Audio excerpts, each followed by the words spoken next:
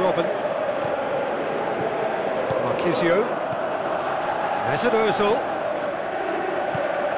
Looks like a good ball through. The shot's on! And he's there to make a great save. The keeper really dug out his defence then. A magnificent effort. Cuadrado plays it forward. And it's Klein. Hits it!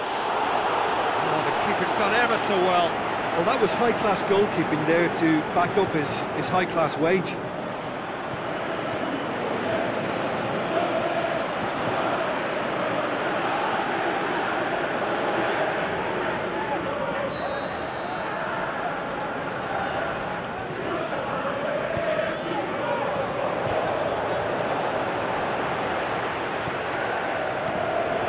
Mario Götze. Götze!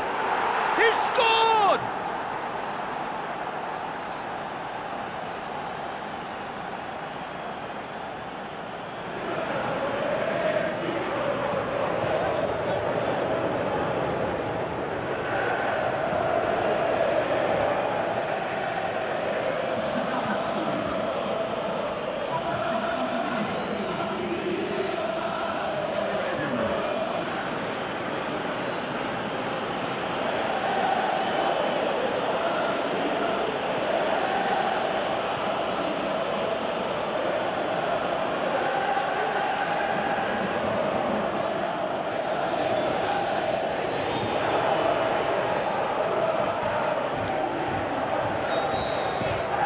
Deadlock broken, it's 1-0. Still a fragile lead, though. They can't afford to sit on this.